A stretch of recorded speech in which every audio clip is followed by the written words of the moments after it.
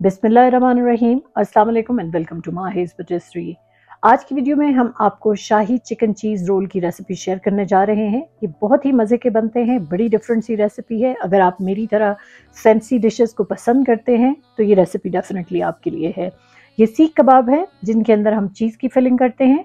Video के अंदर आपको तमाम डिटेल्स बताई जाएँगी और तमाम ट्रिक्स एंड ट्रिक्स के साथ एक्सप्लेन किया जाएगा कि आपके लिए गलती का कोई चांस ना रहे। इसमें हम आपको प्रॉपरली किस तरह से सीख कबाब को फोल्ड करना है, किस तरह से चीज़ डालनी है, वो सारा प्रोसेस सिखाएँगे। तो चलिए वीडियो को स्टार्ट करते हैं।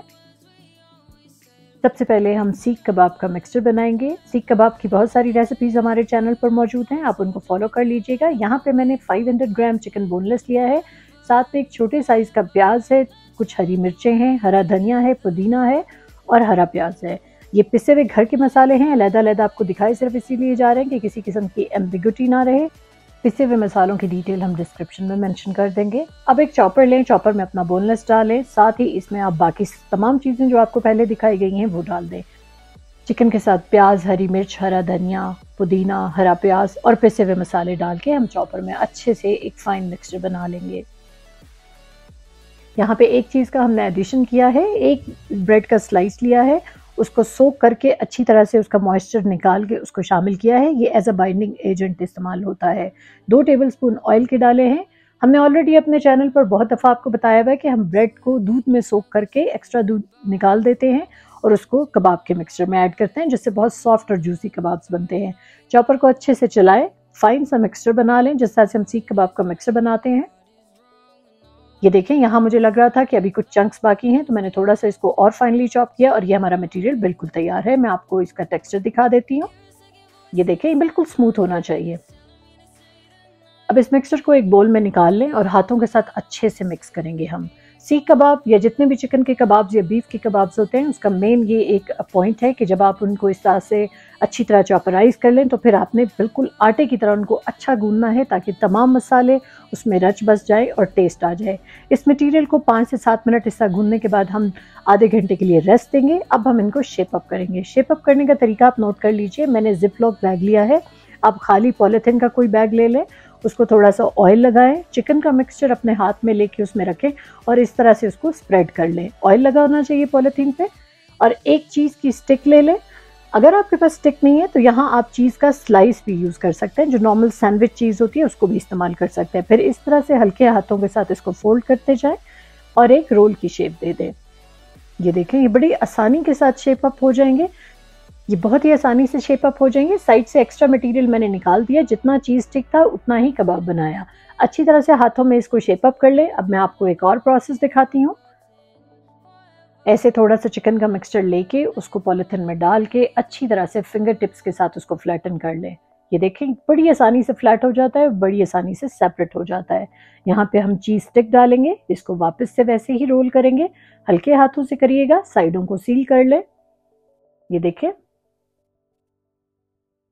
और इस तरह से हम एक रोल और कबाब की शेप इसको दे के तैयार कर लेंगे।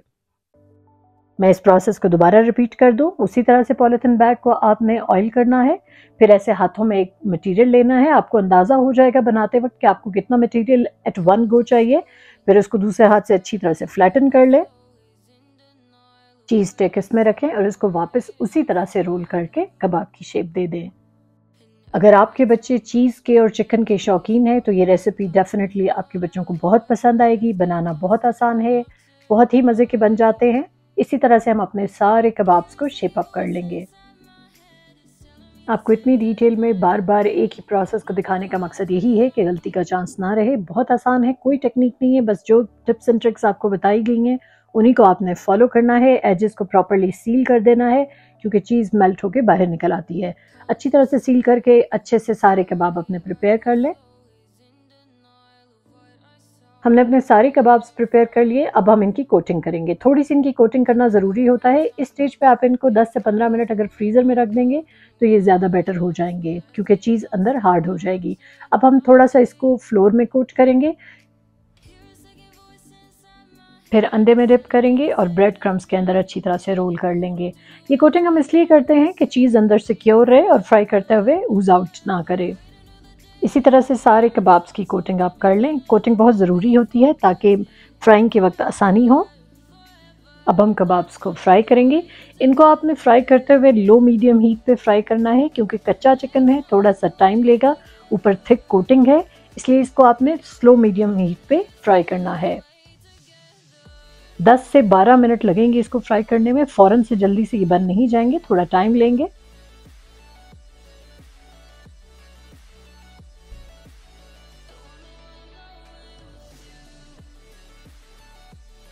बस ऑयल स्प्लैश करते जाएँ, एक तरफ़ से लाइट गोल्डन हो जाए तो इसकी साइड बदल दें।